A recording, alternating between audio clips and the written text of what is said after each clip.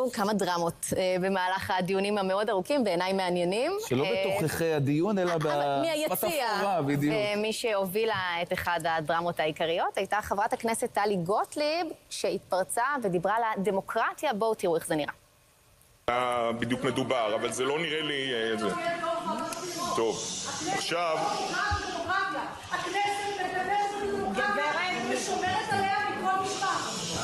גברת גוטליב, היות והיא גם עורכת דין, אז היא יודעת כן. שבבית המשפט לא מתפרצים מהספסלים ולא קוראים קריאות. על, זה, כן, לא. איפה? עד כאן. כן.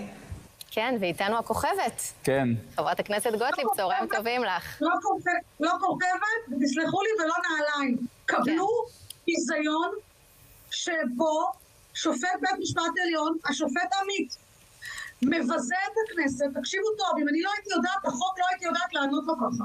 מבזה את הכנסת ואומר שהדמוקרטיה נפגעת לאט בחוקים קטנים. נכון. והוא אומר שעל ידי אפשר לפגוע בתוצאות הבחירות. ככה הוא אומר לעולם. ואז הוא אומר, כן, יש הצעת חוק שהולכת לשנות את, ה, את ועדת הבחירות. אבל אני יודעת על איזה הצעת חוק הוא מדבר, אגב, היא עוד לא נולדה, היא בהליכים, שרוצים ששופט עליון לא יהיה יו"ר ועדת הבחירות. דרך אגב, בגלל השופט עמית אנחנו בין השאר שוקלים את זה. רוב ההחלטות שלו, דרך אגב, התהפכו בערכאות ערעור, והוא, דרך אגב, לא אפשר לשיפלי להיות חבר כנסת, אבל כן אפשר לאחמד טיבי. אז אני, את יודעת, האמירה הזאת של שופט שנותן הצעת חוק לגיטימית כדוגמה לפגיעה בדמוקרטיה, הוא משתמש במעמד שלו ופוגע קשות בכבודה של הכנסת.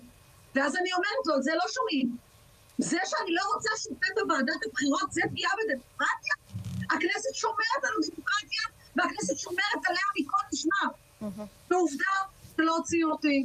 לא אה, אמירה כזאת של מישהו מהצד לא פסול, או כשהייתי עורכת דין, אני לא זוכרת אי פעם שהייתי מקפידה מתישהו על אה, סדרי דין. ואת יודעת כן. משהו? פוסל במומות פוסל. ישבתי אוקיי. שם שעות לראות את היחס המחפיר שלהם לא, לא ראש רק את, כולנו עקבנו אחרי כל מה שקרה שם, אבל אני רוצה. אבל רגע, חברת הכנסת טלי, אני רוצה רגע שתנסי לענות לנו על שאלה מאוד מהותית שהוצגה שם במהלך כל הדיונים.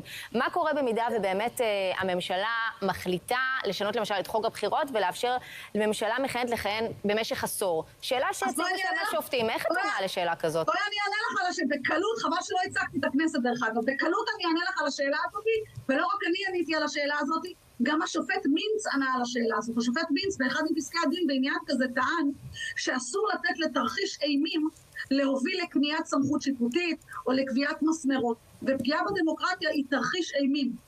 אה, ולכן אני אומרת פה שהסיבה ששופטים אומרים, אנחנו לא, לא מתייחסים להתערבות בעילת הסבירות, ואנחנו שוקלים שיקולים גדולים, האם אנחנו נוכל להתערב בחקיקה בעתיד, אנחנו לא דנים בדיונים תיאורטיים אקדמיים, זה כלל בסיסי בבג"ץ, אנחנו טוענים בדיון אד הוק שצריך פתרון, ולכן בהיבט הזה צמצום עילת הסבירות בטח שלא פוגע בדמוקרטיה, ואגב אני שואלת באותה מידה, איך אני יכולה לסמוך על כך שבית המשפט לא יפגע בהגדרת המדינה שלי כמדינה יהודית ודמוקרטית? כי עד עכשיו בית המשפט העליון דווקא עשה את זה. בית המשפט העליון, מתוך progress רדיקלי, ש, שמוביל למדינת כל האזרחים, לדוגמה, ביטל את, חוקים, ש- את החוקים שקשורים למסתננים, וככה הגענו לאריתריאה הקטנה, בתוך כן. דרום תל אביב, ש, שמקימה לנו מלחמה ביום שבת. אז מי שפגע, אם כבר, בעקרונות הדמוקרטיה אה, ובמשטר, זה בית המשפט העליון, בשבתו כבג"ץ. בית אז המשפט השאלה, העליון... אז השאלה חברת הכנסת, לאור הדברים האלה, לאן אנחנו הולכים. מכאן? כי, כי ראינו את השופטים, וזה די ברור מה הם חושבים. גם הייתה שם פליטת פה של השופט פוגלמן, שאמר שהוא יודע מה הם רוצים ומיד תיקן את עצמו. השאלה, מה קורה מכאן, כשאנחנו כבר די מבינים לך- שזה הולך. לכיוון מאוד מסוים.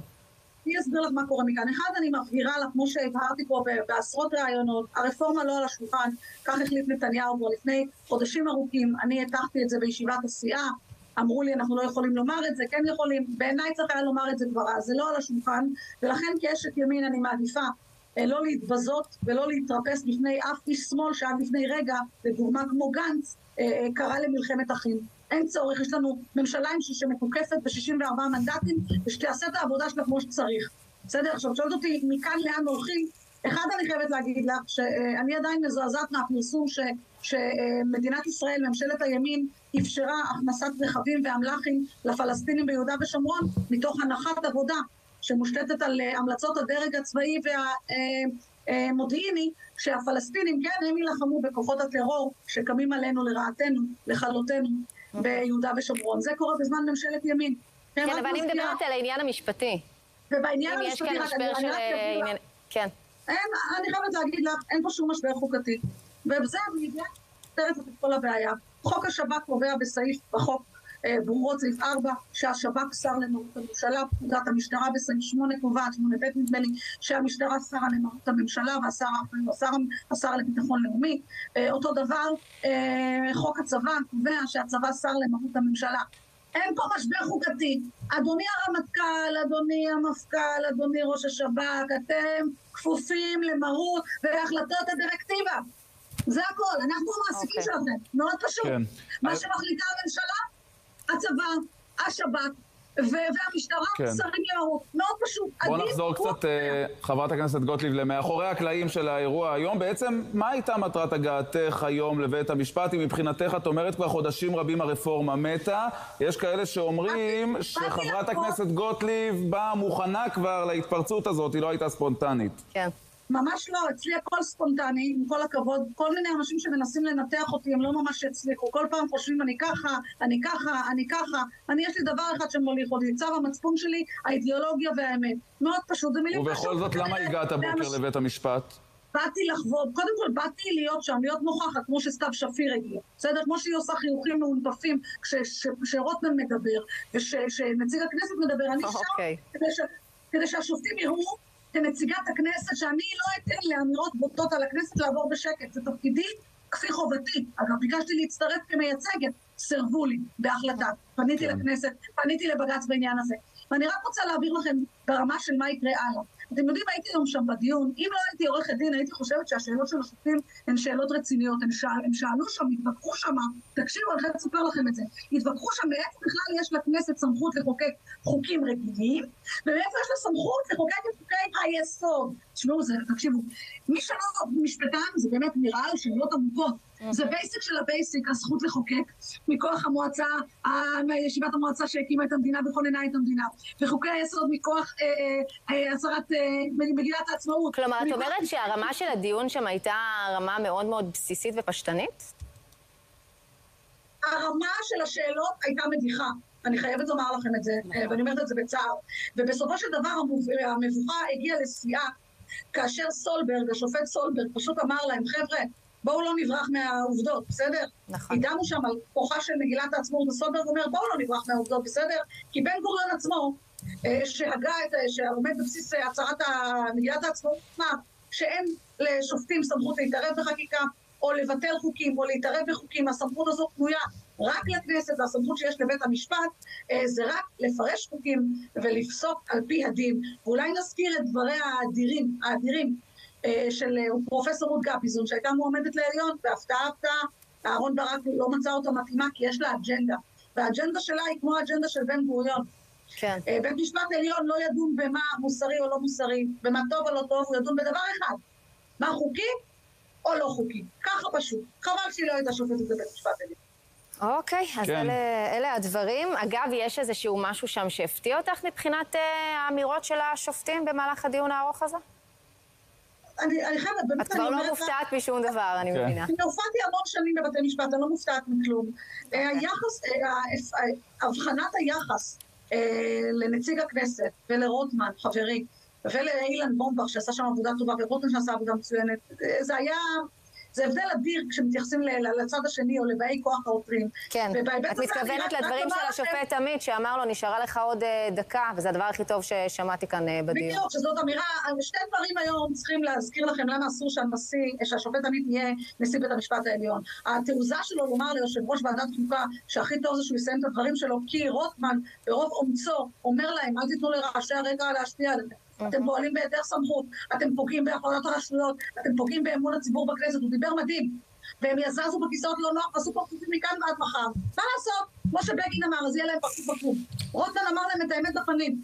אין לכם סמכות, אין לכם מאיפה לשאוב את הסמכות, אתם לא יכולים להתערב בחקיקת חוקי יסוד. אתם לא יכולים, והוא יודע את כל הפסיקה, אנחנו עברנו את כל הפסיקה כן. בוועדת החוקה, את כל ההתערבויות, מתי כן, מתי לא, אין לכם נקודה. מה שאתם עושים פה, אתם פוגעים בכל העקרונות החזקים ביותר. אז עמית אומר לו להיות בשקט? תסיים, זה הדבר הכי טוב שיקרה כאן. זאת טעות אחת של עמית, זה מה שקורה שם, אין חטא היטליס, תזכרו תמיד, לזכור שאתם בני אדם. זו טעות פטאלית אחת שלו, והטעות הנוספת שהוא ניסה לפגוע במעמד הכנסת על, על דרך אה, לא אמינה ולא ישרה, כן. כשהוא הפנה להצעת חוק שבינה לבין פגיעה בדמוקרטיה אין דבר כן, וחצי דבר. וזה בעצם מה שגרם לאותה התפרצות שלך. חברת הכנסת, כן. לא זה התפרצות, הבעת עמדה בצורה אה, קולנית. נגדיר זאת בשקט, ככה. פסיכופתי, תקשיב, אני נבחרת ציבור, אני חייבת לכם את כולכם. ובכל זאת, את עורכת דין גם, מכירה את הנהלים בבית המשפט, זה לא בכללים המקובלים. אומרת לך בתור עורכת דין, כן. שהופיע באמת עשרות אלפי דיונים בקריירה שלי. אני אדם שדוגלת בזה שהפרוצדורה היא לא מיטת סדום. כשיש לי אמירה אני אומרת, ואם אני מתפרצת זה בסדר, ואם מישהו מתפרץ לי, תמיד אני אומרת... אבל אולי זה חוזר אלייך כבומרנג, כי יש לך טיעונים מאוד מאוד מבוססים, יש לך ידע משפטי באמת רחב, יותר מכל אחד אחר זה לא לדעתי. בכנסת, ובסוף כשאת מתפרצת ומקבלת את לא הנזיפה של. אה, הנשיאה חיות, זה. חוזר אלייך כבומרנג. חזר עליי כבומרנג. אני את שלי אמרתי, דבריי נשמעו בנחת, לא הרמתי את הקול, אמרתי אותם בנחת, אל תיפלו פה לדמוניזציה שאני עוברת.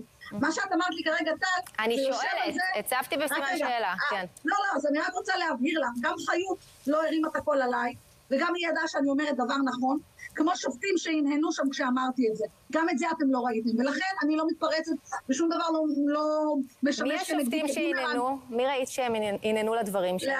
לטעמי? אלרון, אלרון, סולברג וגם מינץ. זו דעתי. מעניין. זה, זה, אתם צריכים להבין משהו, שאתם, הם בעצמם היו בהלם מהאמירה הזאת של הפגיעה בדמוקרטיה. ואז להביא איזו דוגמה של הצעת חוק שבינה לבין פגיעה בדמוקרטיה אין כלום, זה עמית שולח לנו את המסר, שבאמת כל כן. התמונה נמצאת בידיו. איך אני אגיד לו? מעניין. לא הכל. כן. הכל תבונה היא נרכשת. ובסוף בסוף הדיון הזה היום, מבחינתי, הוא בבואה לחורבן האמון בבג"ץ. אסור היה להגיע לזה, זה, זה באמת משחק כוחות, כמו שרוטמן אמר, שאסור להגיע אליו. כן. כל אדם צריך לדעת את מקומו, הכנסת את מקומה, ועם כל הכבוד שאלה מה לבג"ץ... השופטים אה, מבינים אה, מהדברים של אבל רוטמן, לי, האם הם מקבלים אבל אותם? תגידי לי, מי יבקר את השופטים? מי יבקר אותם? כן. מי יחליט אם החלטות שלהם הן סבירות או לא. סבירות? אה, טוב, זאת- זאת בעצם מהות הדיון.